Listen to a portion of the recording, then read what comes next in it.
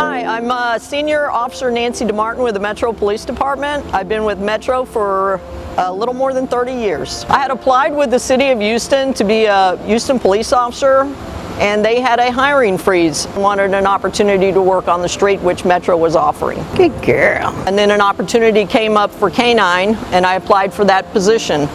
Atta girl, you ready to go to work? When I got my first dog was in uh, 2005. Uh, I was K-9 Mako. Good search. Um, I'm currently working my fourth dog. She is a Belgian Malinois. Uh, she's a single purpose bomb dog.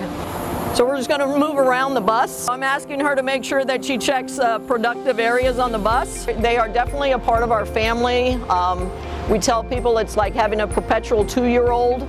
Um, they require a lot of time and attention. So we just kind of follow them. Uh, their nose is doing all the work. We're always looking for unattended bags or, you know, just assisting the public.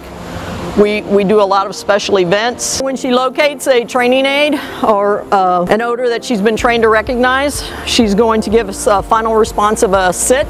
Good girl, good girl. I was lucky and fortunate, like I said, to remain in K-9 and that's one of the reasons I've stayed because I've had that opportunity. That's my passion, that's my niche. It's been a great experience and we've We've really put out some really proficient teams and very, very proud of the work that we've done over the years. That's my girl.